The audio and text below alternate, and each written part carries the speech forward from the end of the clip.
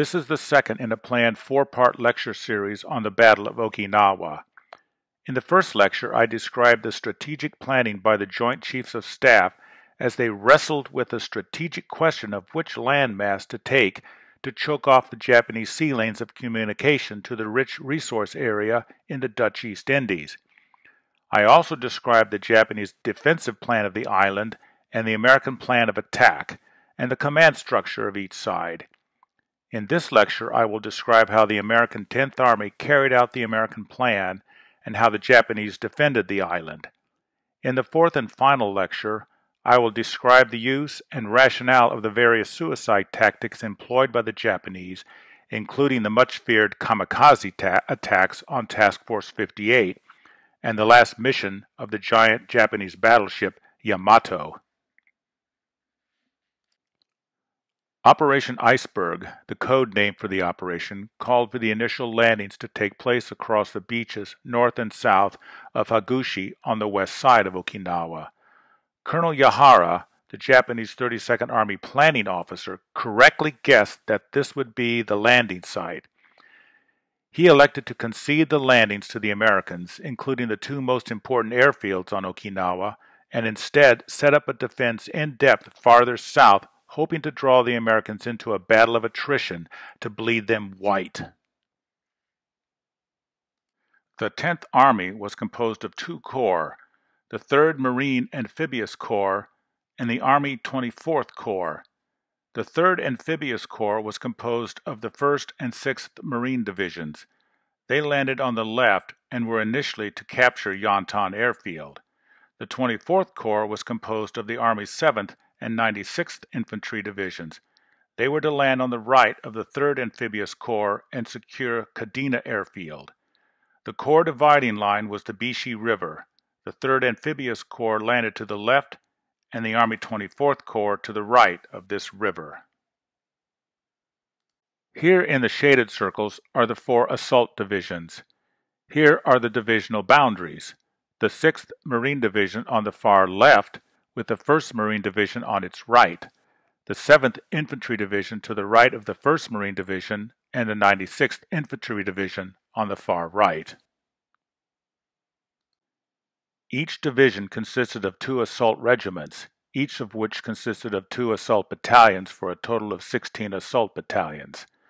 Each regiment would keep one battalion in reserve. Each division would retain one regiment in division reserve and one in corps reserve, the typical two unit forward, one unit back tactic common with a triangular unit configuration during the war. The reserve units would be called on an as-needed basis and inserted into the lines where most needed. The priority would be battalion reserve, division reserve, and corps reserve. As a preliminary operation to Iceberg, to secure an anchorage for Admiral Turner's ships of Task Force 58 for refueling, rearmament, and repair, the 77th Infantry Division, known as the Statue of Liberty Division, landed on four of the Kerama Islands on March 26 at 0800. There was virtually no opposition to the landings as neither General Ushijima nor Colonel Yahara expected an American coup de main in the Keramas.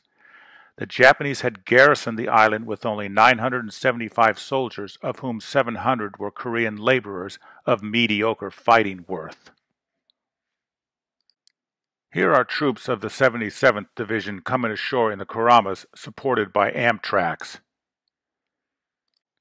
On March 27th, at 0911, two battalions of the 306th Regiment landed on the largest island, Tokashiki. Resistance was light, and within three days the two battalions had completely overrun the island. The 77th Division suffered 31 KIA and 81 wounded and killed 530 Japanese in taking the islands. Admiral Turner now had an anchorage that would pay big dividends throughout the campaign. There was, however, an additional benefit from taking the islands. Many of the Japanese in the Keramas were there to operate facilities for the sea raiding squadrons, suicide boats that were there to attack the transports. More than 350 suicide boats were captured and destroyed by the 77th Division in the Keramas. From hideouts in the islands, these boats were to speed to the American transports. The objective of the attack, General Ushijima ordered, will be transports loaded with essential supplies, material, and personnel. The attack will be carried out by concentrating maximum strength immediately upon the enemy's landing. These boats were made of plywood and were 18 feet long with a 5 foot beam. They were powered by, of all things, a Chevrolet engine of about 85 horsepower and could attain speeds upwards of 30 knots. They carried a 300 kilogram explosive. A final preliminary operation consisted of the occupation of the Kii Islands on L-1, where two battalions of 155 mm howitzers were emplaced to support the landings the next day. Each battalion was composed of three batteries of four howitzers each for a total of 24 guns. At 0406, still in darkness, Admiral Turner radioed the now traditional order, Land the landing force.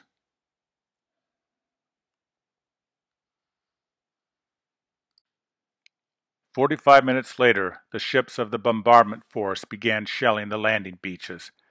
Ten battleships fired their main guns along eight miles of the beaches. Four of the battleships were Pearl Harbor survivors, and two, the Texas and New York, had sailed halfway around the world after the Normandy invasion to join the Pacific Fleet. Along with the battleships were cruisers and destroyers. Together they fired over 7,000 tons of shells at Okinawa's beaches, ranging in caliber from 40 mm to 16 inch. Although impressive to watch, most of the effort was wasted, directed at hills and draws inland from the beaches that held no enemy. As dawn broke on the morning of L Day, the weather was favorable. The sun was bright and the skies clear. The wind from the east was light, and the surf on the reef and beach was negligible. At 0830 H hour, the amphibious tanks rumbled from the shallow water of the reef onto the beach. Marines and GIs jumped out and rushed ashore to a seawall that by now had been blasted by the shore bombardment. Forming in skirmish lines, the assault companies moved out heading across the fields toward their initial objectives. Except for an occasional mortar shell and sniper fire, they met no resistance. Simultaneous with the main landings at Hagushi, the 2nd Marine Division staged a successful demonstration off the beach at Minatoga, then retreated. This led the Japanese to believe that they had repelled the invasion, which they reported to Tokyo. Though General Ushijima and Colonel Yahara had planned no more than a delaying action, resistance behind the beaches may have been less than either had expected. To defend the airfields and to fight a prolonged war of resistance, so the order read, Ushijima had assigned the defense of the airfields to a regiment composed of airfield construction and service troops and Okinawan Home Guard or Boeitai, many of whom were high school students. In total, there were nearly 3,500 of these ragtag troops. There was just one company of 120 regular Army troops. Although armed with only light weapons, they could have seriously delayed both the Marines and the GIs, but they fled when the pre-invasion bombardment began. By 1000, about an hour and a half after H hour, the 6th Marine Division had occupied their initial objective, Yontan Airfield.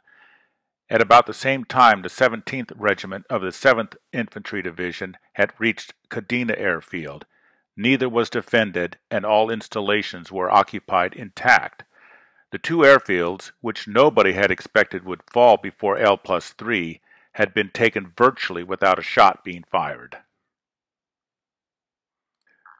Throughout the afternoon of April 1st, resistance remained light. At the northern extremity of the beaches, the 22nd and 4th Marines of the 6th Marine Division kept right on going after crossing the Yontan airfield and moved into the rugged ground to the north and east. South of the Yontan airfield, soldiers of the 96th and 7th Divisions of the Army had also overrun their initial objective, Kadena airfield, and moved further east and south. They had passed numerous field fortifications, but few were occupied.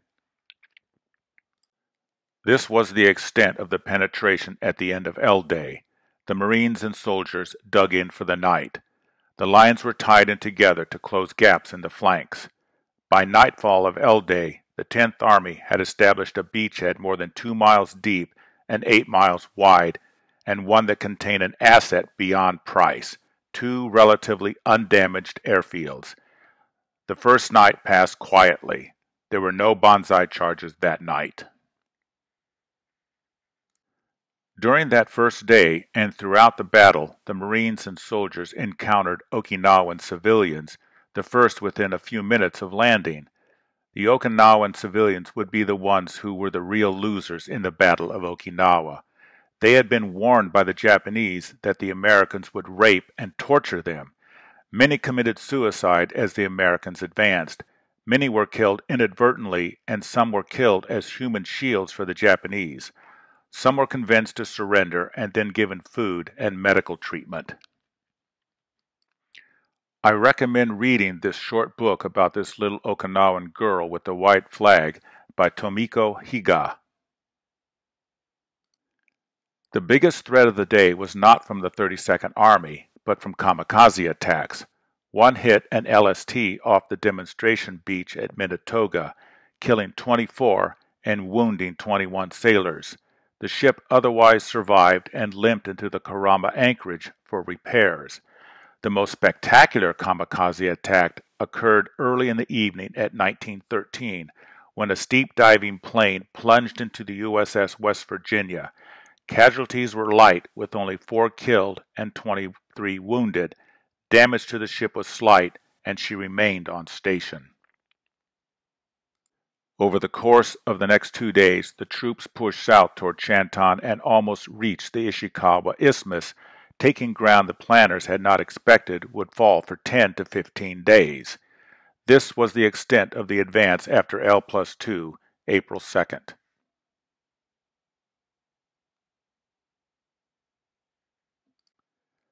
The 6th Marine Division advanced against little resistance along the left flank of the 1st Division. The 1st Division lunged across the island toward the east coast against virtually no resistance. The 96th Division pivoted south until they had reached the L plus 10 phase line of the planners. They were well ahead of schedule. They tied in with the 7th Division, also advancing against little resistance the two Army divisions were poised to begin the advance south. The most pressing need at the end of April 3rd was an answer to the question where are the Japanese? At the end of April 3rd, Colonel Yahara's chief concern was not the Tenth Army's rapid advance, but the possibility that General Buckner might race an armored task force down the east coast and outflank the Shuri line. General Buckner had no intention of making so bold a move. In contrast to Yahara, General Cho chafed restlessly during the first three days of the campaign. He had never approved of Yahara's defensive plan. Cho pressed Ushijima to launch a counterattack into the American lines. If Japanese attackers could infiltrate the American line to a very close range, they could negate the American superior firepower. The entire front, in his estimation, would crumble into disorder and man to man combat. Yahara thought Cho's plan utter nonsense. If the Japanese exposed themselves from their hidden caves, they would be vulnerable to American air attacks and naval bombardment. During the ensuing heated discussions, General Ushijima listened passively. At the end of the meeting, he quietly rose and approved of Cho's plan. But Ushijima was by no means completely sold on Cho's plan. He greatly respected Yahara's ability and knew that his chief planning officer understood the tactics of modern warfare better than any of his other officers. Accordingly, the next night, April 4th, when a strong concentration of American ships was reported off the coast, he abruptly canceled the counterattack. On the American side of the front, Major General John Hodge, commanding the 24th Corps, had already stopped worrying about a Japanese counterattack. He was more concerned with sustaining the momentum of the advance. Even though the 96th and 7th Divisions were thinly spread along the front, if the Japanese advanced, his battalions could recoil into protective perimeters and summon a ferocious concentration of shell fire the likes of which General Cho had neither experienced nor could imagine. The nickname of the 96th Division was the Deadeye Division. The nickname of the 7th Division was the Hourglass Division. These are their shoulder patches. On the afternoon of April 3rd, General Hodge gave the order to the 96th Division to seize the Urasoe-Mura escarpment that dominated the western side of the line. This escarpment would later become known as Hacksaw Ridge. He assigned the equally dominating mass of Hill 178 and the coastal area in the vicinity of Oyuki on the eastern side of the island to the 7th Division. This was the 24th Corps' initial objective. This was the front line as of April 3rd and from where the advance south began in earnest. The four regiments of the two divisions jumped off at 0800 the next day, April 4th. This was the extent of the advance on April 5th and on April 8th. There were three paved highways running more or less north and south that were integral to the southward advance, routes 1, 5, and 13. The Urasoe-Mura escarpment lay between highways 1 and 5 putting it within range of Japanese guns dug into the hillsides. The 96th Division would have to take the escarpment so that routes 1 and 5 could be used for the advance. Hill 178 dominated the surrounding hills. Skyline Ridge extended east from Hill 178 almost to Route 13 on the East Coast Flat. For Highway 13 to be of any use, troops of the 7th Division would have to take both Hill 178 and its appendage, Skyline Ridge. General Hodge needed all three roads to supply the continued advance south. The odds favored the Americans with two full divisions of well equipped, experienced troops. But the Japanese had certain advantages to counter American numerical superiority. All units were dug into the hills, skillfully camouflaged, and completely integrated from shore to shore across the island. The 47 mm anti-tank guns, for example, were hidden so carefully as to be undetectable at two paces. This is the Japanese 47 mm anti-tank gun that was so effective against the American Sherman medium tank. At first, the assault companies of both divisions advanced rapidly, but sharp fights from several Japanese outposts soon ran up the casualties. The honeymoon of the first three days of the campaign was over. On April 4th, in the 96th Division sector, three Sherman medium tanks were hit by 47 mm anti-tank rounds and set afire. A 47 mm round could penetrate a 35-ton Sherman's armor at several hundred yards range. No tank in the American armored inventory at this stage of the war could approach a Japanese position with impunity. Two tough battles were fought on April 4th and 5th. In the 96th Division zone, a coral ridge known as Cactus Ridge, a long narrow hill, flanked Route 1. Japanese occupation of this ridge prevented the 96th from moving further south. It had to be taken. The second involved a coral outcrop that had stopped elements of the 7th Division. This became known as the Pinnacle. The Pinnacle barred the safe movement along Route 13 and the east side coastal plain below. The defense of Cactus Ridge to the west and the Pinnacle to the east marked the start of resistance by the Japanese land forces on Okinawa. Early the next morning, on April 6th, Following a 10 minute artillery barrage, B Company stepped off toward the Pinnacle. Three times B Company attacked and failed, being pushed back the last time after reaching the base of the Pinnacle. Its men could not endure the shower of grenades and knee mortar shells raining down on them from above. The company commander was wounded from a TNT charge tossed down from the top. With the failure of B Company's third attack, C Company went in around the Japanese flank up a rugged but covered route from the west.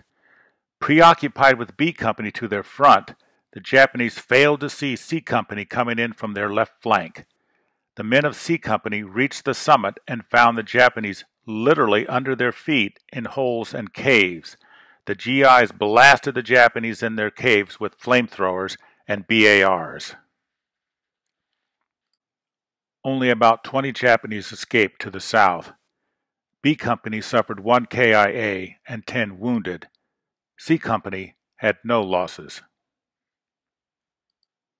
Here is a photo of the Pinnacle and its western approaches over which C Company moved to capture it. The Pinnacle had been as foreboding and dangerous as any position on Okinawa, but it fell relatively easily because it stood alone, unsupported, and was vulnerable from one of its flanks. Its fall enabled the 7th Division to continue their advance on high ground along the east coast. Here is a contemporary photo of the Pinnacle. The inset provides a nice comparison with the Pinnacle from the war. Here is another contemporary view of the Pinnacle.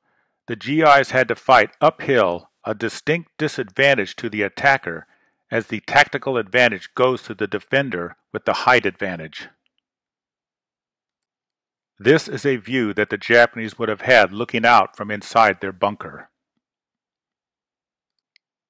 Unlike the isolated Pinnacle, Cactus Ridge in the 96th Division's West Coast sector could not be outflanked. There was no easy way to assault it except from the front. Mines, an anti-tank ditch, and barbed wire protected its full 1,500-foot length. On April 5th, two tanks were knocked out by 47 mm anti-tank shots and had to be abandoned. Heavy Japanese machine gun and mortar fire halted the assault. American forces were forced to withdraw. On the following day, April 6th, the Japanese positions continued to hold up the 383rd. American forces continued to make direct frontal assaults against the ridge through heavy Japanese mortar fire. Such assaults ultimately resulted in charging and reducing Japanese position with grenades and small arms fire.